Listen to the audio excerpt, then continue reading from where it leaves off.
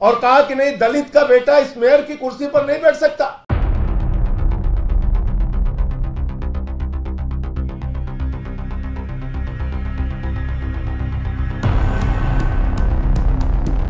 दिल्ली नगर निगम के मेयर चुनाव को उपराज्यपाल ने 25 अप्रैल को स्थगित कर दिया। इसको लेकर एमसीडी सदन में आम आदमी पार्टी और भारतीय जनता पार्टी के पार्षदों ने जमकर हंगामा किया।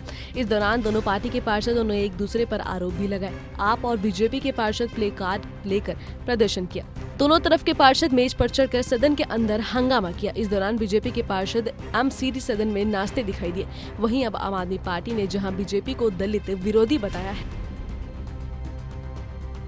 दिल्ली मेयर चुनाव को एलजी विनय सक्सेना द्वारा स्थगित करने के बाद आज एमसीडी सदन की बैठक बुलाई गई।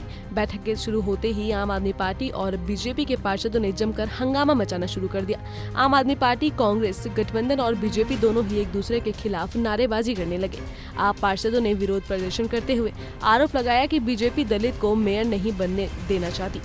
आम आदमी पार्टी ने बीजेपी को दलित विरोधी बताते हुए सदन के बाहर प्रदर्शन किया।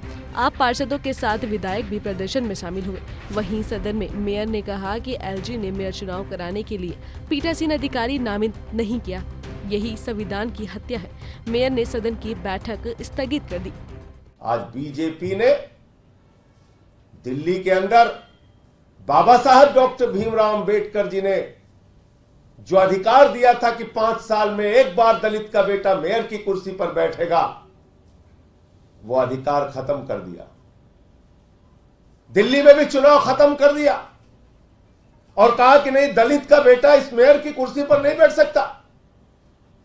बीजेपी ने कहा, ना, दलित का बेटा मेयर की कुर्सी पर नहीं बैठेगा। यह मेयर की कुर्सी अपवित्र हो जाएगी अगर दलित का बेटा मेयर की कुर्सी पर बैठेगा। और अपना एक मोहरा तैयार किया एलजी। भाजपा के एलजी ने कहा, बगैर मुख्यमंत्री के, सलाह के, हम प्रिजाइडिंग ऑफिसर की नियुक्ति नहीं कर सकते। यह भाजपा के एलजी का बयान है, याद रखिएगा। यह है वो पत्र जहाँ मुख्यमंत्री की सलाह के बगैर ये पत्र आपको दे देंगे अभी। जहाँ मुख्यमंत्री की सलाह के बगैर सत्या शर्मा को नियुक्त किया गया प्रिजाइडिंग ऑफिसर मेयर के चुनाव में, बगैर मुख्यमंत्री के सलाह को माने हुए। दूसरी बात, दलित विरोधी भाजपाइयों से मैं पूछना चाहता हूँ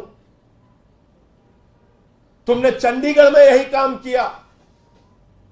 चंडीगढ़ में भी एक सफ़ाई कर्मी का बेटा जब मेयर की कुर्सी पर बैठने जा रहा था तो भाजपाइयों ने उसके वोट की चीर फाड़ करके, उसके वोट में गड़बड़ी करके, चंडीगढ़ का भी मेयर एक सफ़ाई कर्मी के बच्चे को बनने से रोका था। और इतना ही नहीं किया। एलजी ने पिछली बार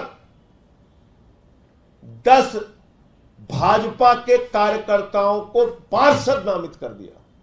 शुक्रवार को हुई प्रेस कॉन्फ्रेंस कर आम आदमी पार्टी के राज्यसभा सांसद संजय सिंह ने कहा कि बीजेपी वाले देश में दलितों और पिछड़ों को आगे बढ़ते हुए नहीं देख पा रहे हैं। ये लोग दलितों को रोकने की साजिश रच रहे हैं। दिल्ली एनसीडी में इस बार दलित समाज का मेयर बनना था, लेकिन इन्होंने चुनाव रद्द करके अपनी दलित विरोधी मानसिकता और संविधान को खत्म करने का एक और प्रमाण दिया है। राज्यसभा सांसद ने कहा कि बाबा साहब ने संविधान में अधिकार दिया है कि एमसीडी के मेयर पद पर एक बार दलित समाज का व्यक्ति बैठकर सेवा करेगा। बीजेपी से ये देखा नहीं गया और इन्होंने ही चुनाव रद्द कर दिए। इस बार इनके दलित और संविधान विरोधी इस काम में मोहरा बन बीजेपी के लिए। एलजी साहब, आज जब दलित का बेटा दिल्ली का मेयर बनने वाला था तो इन्होंने साजिश करके मेयर का चुनाव ही रोक दिया।